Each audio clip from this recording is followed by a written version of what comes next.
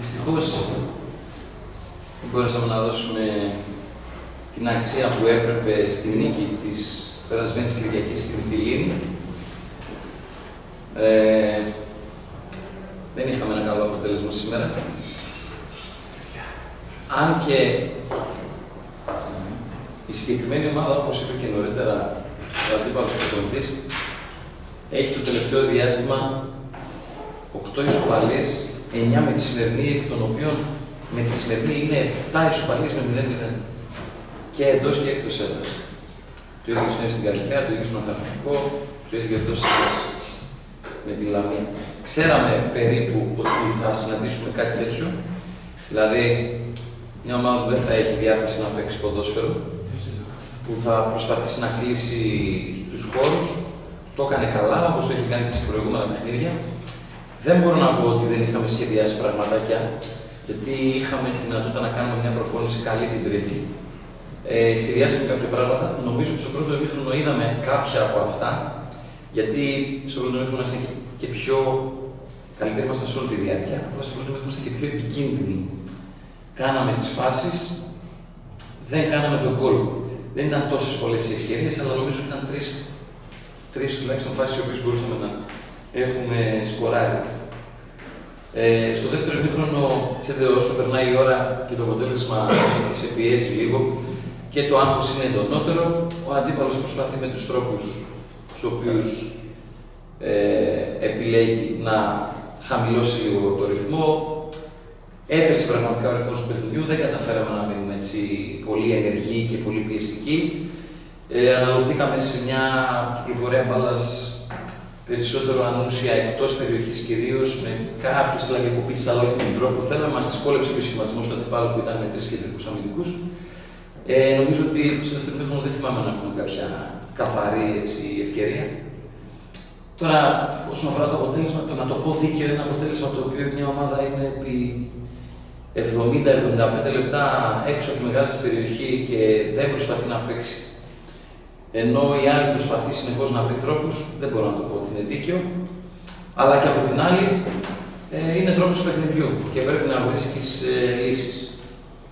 Δεν έχουμε να κάνουμε κάτι ακόμα. Σίγουρα υπάρχει μια μικρή απογοήτευση γιατί πιστεύαμε ότι με τη σημερινή, στο σημερινό παιχνίδι θα μπορούσαμε να πλησιάσουμε ακόμα περισσότερο έτσι, και τις από πάνω ομάδες. Δεν το καταφέραμε. Να σας πω την αλήθεια, δεν έχουμε παράπονα από τα παιδιά. Ε, ξέρουμε τι μπορούμε να κάνουμε.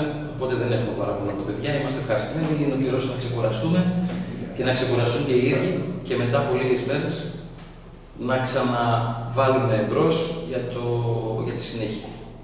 Να ευχηθώ σε όλους καλό πάσα, με υγεία. Και αν έχετε κάποιες ερωτήσεις, μπορώ να σας ακούσω. Στο δεύτερο ημίχρονο, παρά τη συντριπτική κατοχή και τους επιθετικογενείς χάφη της ομάδας, ο τρόπος ανάπτυξης ήταν ανορθόδοξος. Ήταν, έχει να κάνει περισσότερο με το ότι ο αντίπαλος κίνησε τον ηγενειακό.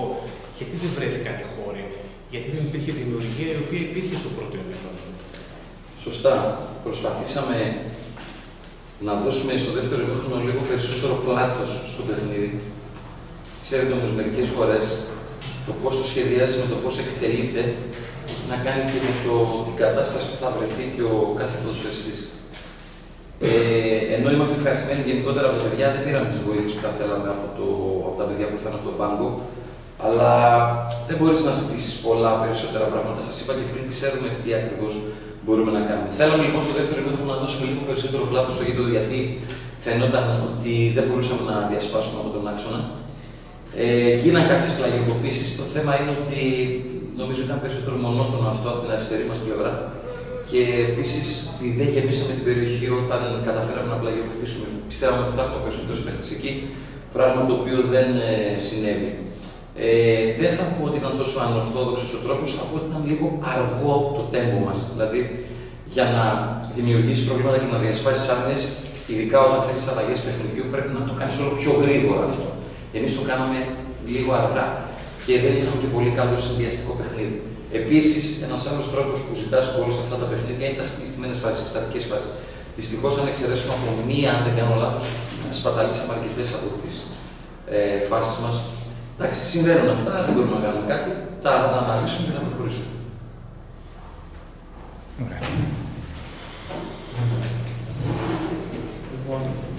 Τα συναισθήματά μας από αυτό το αγώνα είναι ανάμεικτα. Περισσότερο είμαστε δυσαρεστημένοι που δεν μπορέσαμε να πάρουμε τους τρεις βαθμούς. Το ερχόμασταν πάρα πολύ μετά από την νίκη μας με την Καλονή. Ε, παίξαμε αντιμέτωπο με μια ομάδα η οποία είχε κλειστεί στο μισό γήπεδο, μας είχε κλείσει τους χώρους. Προσπαθήσαμε να παίξουμε μπάλα εμείς, να διασπάσουμε την άμυνα. Δεν τα καταφέραμε. Είχαμε κάποιες κλασικές ευκαιρίες οι οποίες δεν καταφέραμε να τις αξιοποιήσουμε και να σκοράρουμε. Μετά στη συνέχεια και αυτοί κερδίζανε έξυπνα τον χρόνο, σπαθαλούσαν τον χρόνο, σπάσανε το ρυθμό μας και αυτό είχε αποτέλεσμα να πέσουμε και εμείς λίγο στην ανάπτυξή μας, στους τρόπους λειτουργία μας από πίσω.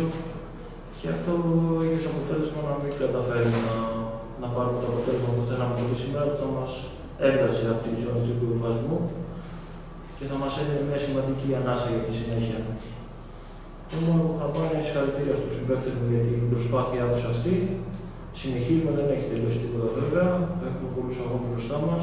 Έχουμε καλή ψυχολογία γιατί έχουμε θετικά αποτελέσματα τον τελευταίο καιρό. Συνεχίζουμε ακόμα πιο δυνατά με περισσότερη δουλειά και πιστεύω ότι όλα θα πάνε καλά στην ομάδα μου. Εύχομαι καλή ανάσταση σε όλους και με υγεία.